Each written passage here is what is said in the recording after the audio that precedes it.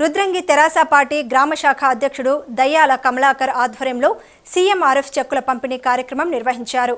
ముఖ్య అతిథిగా MPP Gangam Swaroopa Mahesh ZPTC Gatla Meenaiah పాల్గొని వారి చేతుల మీదుగా ముప్పై ఎనిమిది వేల రూపాయల విలువైన చెక్కులను లబ్ధిదారులకు అందజేశారు ఈ సందర్భంగా వారు మాట్లాడుతూ ప్రైవేట్ ఆసుపత్రిలో వైద్యం చేయించుకొని అప్పుల పాలైన నిరుపేద కుటుంబాలకు ముఖ్యమంత్రి సహాయ నిధి చెక్కులు అండగా నిలుస్తున్నాయని అన్నారు.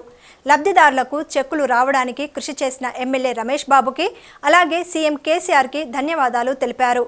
ఈ కార్యక్రమంలో నాయకులు అంబటి గంగాధర్ మంచే రాజేశం కొమిరే శంకర్ ఆకుల గంగారాం దయ్యాల నారాయణ సుందర్ నాయక్ అల్లూరి లచ్చిరెడ్డి మోతే నరసయ్య పుదారి శ్రీనివాస్ కదాసు లక్ష్మణ్ గెంటే ప్రశాంత్ బండరి నర్సయ్య తదితరులు పాల్గొన్నారు. రావడానికి కృషి చేసినటువంటి గౌరవ శాసనసభ్యులు డాక్టర్ చిన్నమనేని రమేష్ బాబు గారికి హృదయపూర్వకంగా రుద్రంగి పార్టీ పక్షాన ధన్యవాదాలు తెలియజేస్తున్నాం.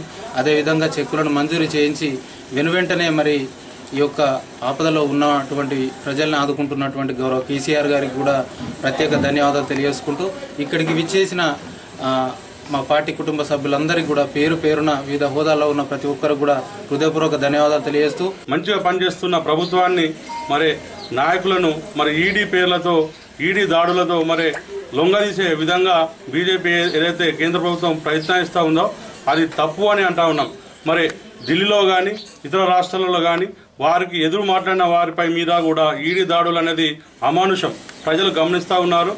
రానున్న రోజులలో మీకు తగిన మూల్యం తప్పదని సందర్భంగా తెలియజేసుకుంటూ మరి ఇప్పుడు చేతిలో అధికారం ఉందని చెప్పి ఇష్టం ఉన్నట్టు చేస్తే మాత్రం ప్రజలు ఊ- ప్రసక్తే లేదు. మరి తెలంగాణను ఒక బంగారు తెలంగాణ చేసే దిశగా గౌరవనీయులు పెద్దలు సీఎం కేసీఆర్ గారు ప్రయత్నం చేస్తూ ఉంటే మరి ఇక్కడ తెలంగాణ రాష్ట్రంలో టీఆర్ఎస్ ప్రభుత్వాన్ని మరి కేసీఆర్ గారిని లొంగదీసే విధంగా మరి భారతదేశంలో అందరూ కూడా ఎదురు మాట్లాడతలేరు మరి కేసీఆర్ మాట్లాడుతున్నా అని చెప్పేసి లొంగదీసే విధంగా ఏదైతే మాట్లాడుతూ ఉన్నాడో అది చేస్తూ ఉన్నాడో అది తప్పు పడుతూ మరి కవితక్క ఇంటిపై కూడా దాడిని మా మా అందరి పక్షాన కూడా తీవ్రంగా ఖండిస్తూ ఉన్నాం హెచ్చరిస్తూ ఉన్నాం. ఇటువంటి దాడులు పాల్పడితే మాత్రం మేము కూడా ఊకునే ప్రసక్తి లేదు. ఒక చిన్న పాప ఈ పాపకి అనారోగ్యం చాలా ఎక్కువగా ఉండి హాస్పిటల్కి వెళ్ళాల్సిన పరిస్థితుల్లో తల్లిదండ్రులకు ఇబ్బందికర పరిస్థితుల్లో ఉన్నప్పుడు మనకి మన రాష్ట్ర ప్రభుత్వం గౌరవ ముఖ్యమంత్రి గారు వారికి తోచిన విధంగా చేయూతను అందించి తోచిన సహాయం చేస్తున్నందుకు వారికి ప్రత్యేక ధన్యవాదాలు తెలియజేసుకుంటూ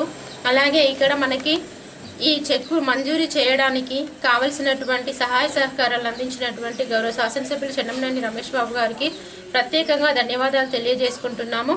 ఇలా ఇది